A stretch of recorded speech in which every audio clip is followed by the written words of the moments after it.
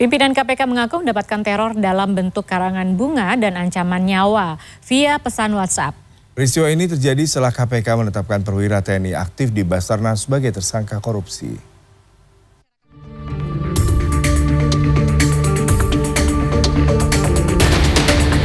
Adanya teror bunga ke pimpinan KPK itu diungkap Wakil Ketua KPK Nurul Gufron. Karangan bunga ditujukan ke rumah Direktur Penyidikan KPK Brigjen Asep Guntur Jumat malam bertuliskan selamat atas keberhasilan memasuki pekarangan tetangga.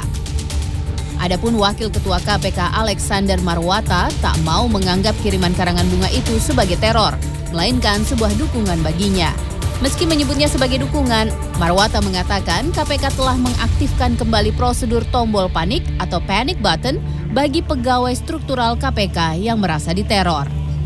Saya sampaikan terima kasih atas dukungannya dan semoga mudah-mudahan nanti ke depan juga eh, KPK eh, bisa bekerja dengan baik ya. Jadi saya anggap itu bukan suatu teror dan saya tidak menuduh siapa yang mengirimkan kan gitu kan. Ya bisa saja kan masyarakat yang memang mendukung KPK kan begitu kan. Saya tidak menuduh siapa-siapa.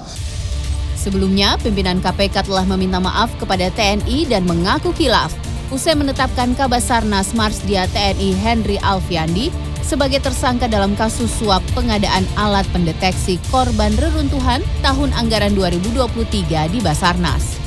Puspom TNI akhirnya mengambil alih penanganan kasus dugaan suap di Basarnas dan menetapkan Kabasarnas sebagai tersangka.